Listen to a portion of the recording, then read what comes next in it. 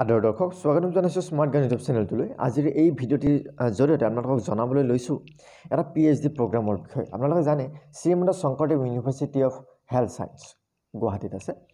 আৰু Srimanta Sankardev university of health ছায়েন্সে provide কৰি আছে হেল্থ ছায়েন্স ৰিলেটেড যিখিনি ডিগ্ৰী ইয়াতে যদি আপুনি পি এইচ ডি কৰিম বুলি ভাবিছে তেনেহ'লে পি এইচ ডি সংক্ৰান্তীয় এই নটিচখন ওলাইছে। ইউনিভাৰ্চিটিৰ ৱেবছাইটত গ'লে আপোনালোকে সবিশেষ তথ্য জানিব পাৰিব। ৱেবছাইটটো হৈছে W W W dot S S U H S dot in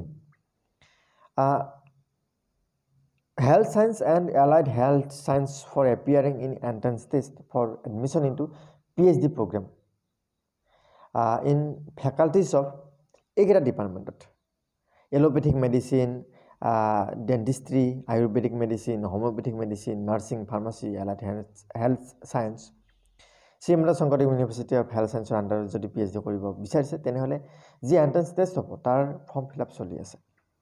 আপোনালোকে অফিচিয়েল ৱেবছাইটটো ভিজিট কৰিলে ডিটেইলছ আপোনালোকে জানিব।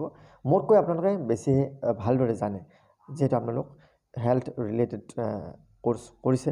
গতিকে আপোনালোকে ভালদৰে জানিব।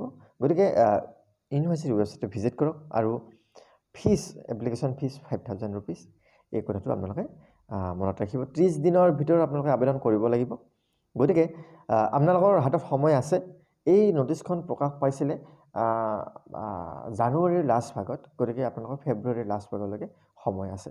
সঠিক ডেটটো মই ক'ব পৰা নাই কিন্তু আপোনালোকে মনত ৰাখিব ফেব্ৰুৱাৰীৰ লাষ্টলৈকে সময় আছে। গতিকে দুই এদিনৰ ভিতৰতে আপোনালোকে অফিচিয়েল ৱেবছাইট শ্ৰীমন্ত শংকৰদেৱ ইউনিভাৰ্চিটিৰ official website W W W dot S S S U S S U H S dot in visit কৰক আৰু আপোনালোকে আবেদন কৰক যদিহে এলিজিবল হয়। আৰু যদি এলিজিবল নহয় তেনেহ'লে তেনেকুৱা ধৰণৰ কেণ্ডিডেটলৈ ভিডিঅ'টো শ্বেয়াৰ কৰি দিব। ধন্যবাদ।